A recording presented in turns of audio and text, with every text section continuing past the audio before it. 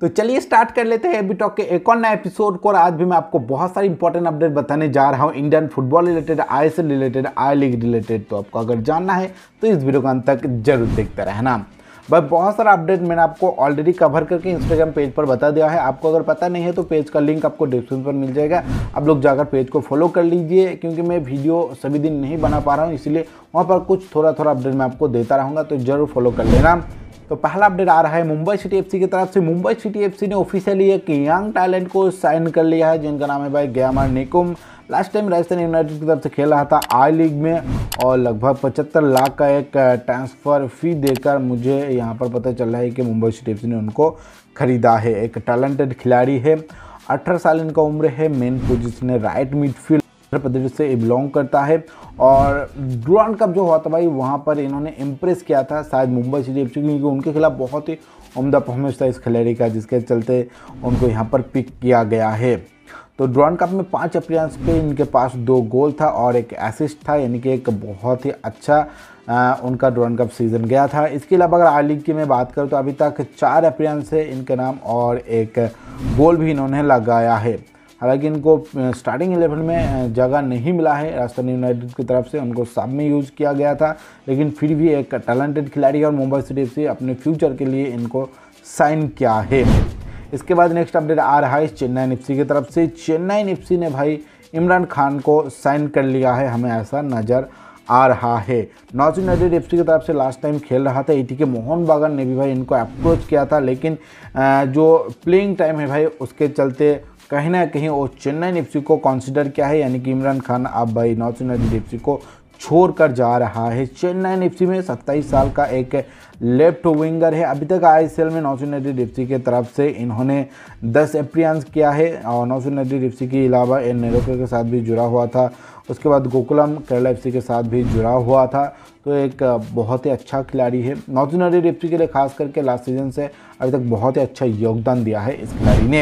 इसके बाद next update आ रहा है ओडिशा एफ़ की तरफ़ से। ओडिशा एफ़ ने तनकाधर बाग को ऑफिशियली साइन कर लिया है, जो कि उड़ीसा का ही एक लोकल टैलेंट है। 19 साल इनका उम्र है और मेन पोजीशन है right back two and half year का एक डील साइन हुआ है, साथ साथ एक एक्सटेंशन का भी यहाँ पर क्लोज रखा गया है इनके डील में और लास्ट टाइम में इंडियन एरोज के साथ जुड़ा हुआ था, अब शिफ्ट हो चुका है उड़ीसा एफ़ में. नेक्स्ट अपडेट आ रहा है एटी के मोहन बगान की तरफ़ से एक स्वाप डील मैंने आपको कल ही इसका अपडेट दे दिया था, एक स्वाप डील हुआ है एटी के मोहन बगान के खिलाड़ी. लेनी रॉड्रिगो शिफ्ट हो रहा है एफसी गोवा में और एफसी गोवा के खिलाड़ी ग्लन मार्टिन्स भाई शिफ्ट हो रहा है एटी के मोहन बागान में। इससे पहले ही भी भाई इन दोनों के बीच स्वैप डील हुआ था। एक सीज़न पहले आपको ऑलरेडी पता होगा और इस सीज़न में फिर से उसको दोबारा दोहराया जा रहा है। लेनी रॉड्रिगो जा रहा है एफसी गोवा में, एफसी गोवा से आ रहा है मार्टिन्स। पहले मार्टिन्स एटी के मोहन बागान से एफसी गोवा में गया था एफ़ गोवा से लेनी आया था, लेकिन उस डील को फिर से स्वाइप करा, यहाँ पर जा रहा है।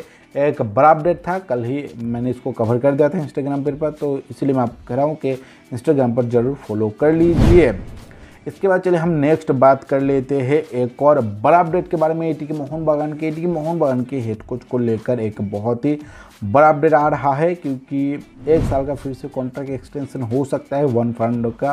एटी के मोहन बागान के हेड कोच के रूप में अभी डिस्कशन चल रहा है। इसके ऊपर वन कह रहा है कि मुझे और थोड़ा टाइम दिया जाए, मैं और भी बेहतर कर सकता हूँ इस टीम के साथ। तो थोड़ा बहुत यहाँ पर अभी बातचीत चल रहा है। सिर्फ़ एक साल का ही अगर होता है तो डील कॉन्ट्रैक्ट एक्सटेंशन यहाँ पर होगा।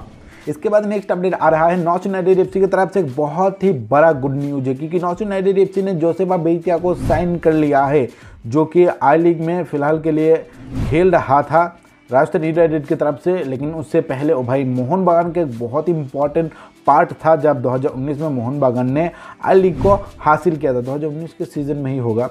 लेकिन जब मोहन बागान ने जीता था आई लीग, तब भाई बहुत ही बढ़िया यहाँ पर उन्होंने खेल दिखाया था। उसके बाद से बहुत सारा चाहने वाला उनका बन गया है इंडिया में। और कुछ सीज़न से सुनाई दे रहा है कि आईएसएल में शिफ्ट होगा आईएसएल में शिफ्ट होगा, लेकिन इस सीज़न में फाइनली हुआ। आईएसएल में शिफ्ट हो गया है खेलेगा यूनाइटेड एफ़ की तरफ़ से स्पेनिश खिलाड़ी है, बत्तीस साल इनका उम्र है मेन पोजीशन है। सेंटर मिडफील्ड मोहन बागान के तरफ़ से खेलते हुए अपना इंडिया में करियर शुरू किया था। उसके बाद राउंड ग्लस पंजाब की तरफ़ से खेला था। उसके बाद राजस्थान यूनाइटेड की तरफ़ से खेल रहा था। अब शिफ्ट हो चुका है नॉर्थ ईस्ट यूनाइटेड एफसी में। और भाई खबर इतना है कि नॉस यूनाइटेड एफ़ के साथ तो ट्रेनिंग भी स्टार्ट कर दिया। अभी तक ऑफिशियल अपडेट नहीं आया, लेकिन ट्रेनिंग उनका स्टार्ट हो चुका है। कल ही वो गुवाहाटी पहुँच गया था। इस तरीके का अपडेट है हमारे पास।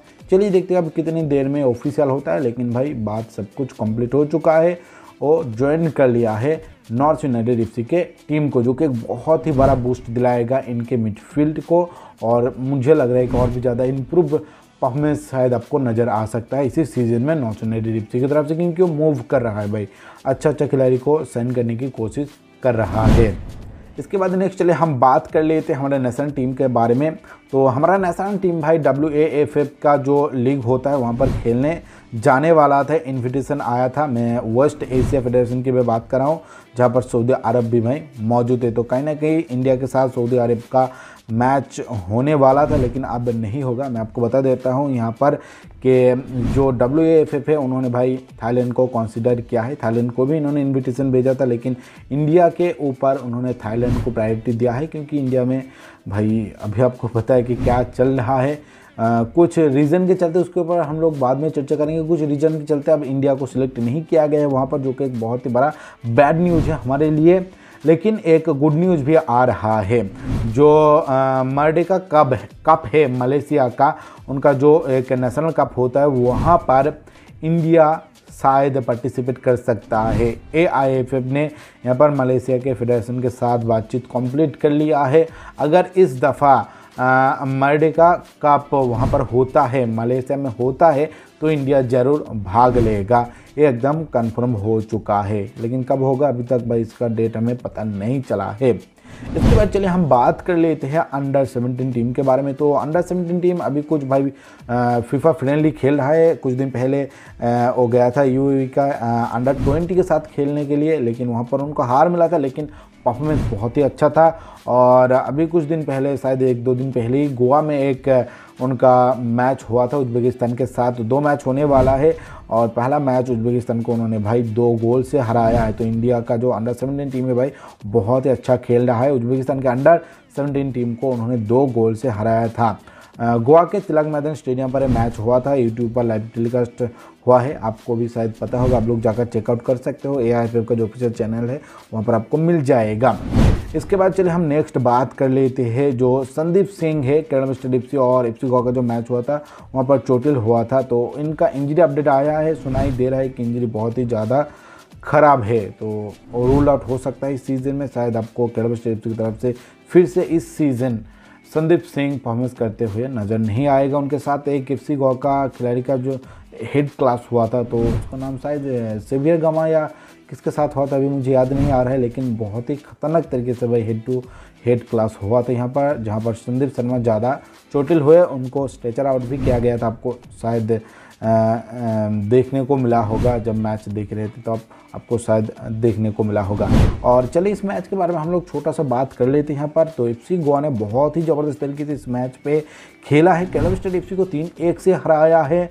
एक जो पेनाल्टी था भाई, वो रेफरी का बिल्कुल भाई यहाँ पर बहुत ही बड़ा गलती हो गया था क्योंकि एफ़ गोवा को यहाँ पर एक पेनाल्टी दिया गया था, जिसके चलते एक शून्य से भरत ले लिया था। वहाँ पर ग्रेट सेना ने एक बहुत ही अच्छा पेनाल्टी लगाया था। लेकिन क्या करें भाई, यहाँ पर रेफरी का गलती है। कोई भी टच नहीं था पीछे से किसका, शायद ब्रांडन को गिराया गया था। और वहाँ पर रकी भैया कौन था? यार, याद, अभी याद नहीं आ रहा है, लेकिन जो प्लांटी दिया गया था, बिल्कुल ही गलत प्लांटी था। तो यहाँ पर भाई, अभी कंसिडर करना पड़ेगा कि हाँ आई का जो रेफरी है भाई, बहुत ही ज़्यादा ख़राब चल रहा है। और उसके बाद कम भी किया था। सेकेंड हाफ़ में एक गोल लगाकर दिमन तकोस कैडब स्टेट की तरफ़ से लगाया था। तो कुछ टाइट सा मैच हमें नज़र आया, बहुत सारी इंजरी हमें देखने को मिला, लेकिन मैच बहुत ही अच्छा था। और जो इसका पहला फिक्सर था कैडब स्टेट एफ़ सी का होम ग्राउंड पर हुआ था, वहाँ पर तीन ने एक से एफ़ सी गोवा को हराया था कैडब स्टेट एफ़ सी ने, और इस मैच पे एफ़ सी गोवा ने तीन एक से कैडब स्टोक को हराया। यानी कि फिफ्टी फिफ्टी इस दफ़ा हो गया है इन दोनों के बीच। और फैनों का जो क्लास है भाई एफ़ गो और कैरवेस्ट गो तो आपको सोशल मीडिया पर भी नज़र आ रहा है और अब भाई फ़ील्ड में तो फिफ्टी फिफ्टी हो चुका है। अब लोगों का भी क्या कहना है इस मैच के ऊपर कमेंट करके ज़रूर बताना। फ़िलहाल के लिए इस वीडियो को यहीं पर एंड कर रहा हूँ। आपको बहुत बहुत शुक्रिया टाइम निकाल के इस वीडियो को देखने के लिए। अगर आपको वीडियो अच्छा लगे तो लाइक ज़रूर कर दीजिए, अपने दोस्तों से वीडियो को ज़्यादा से ज़्यादा शेयर कर दीजिए ताकि उनको भी इस तरह की इंपॉर्टेंट चीज़ों के बारे में पता चला और आपने अभी तक चैनल को सब्सक्राइब नहीं किया तो चैनल को सब्सक्राइब करने के बाद ऑल नोटिफिकेशन ऑन कर दीजिए ताकि आपको फटाफट नोटिफिकेशन मिल जाए जब भी हमें वीडियो अपलोड करूँ।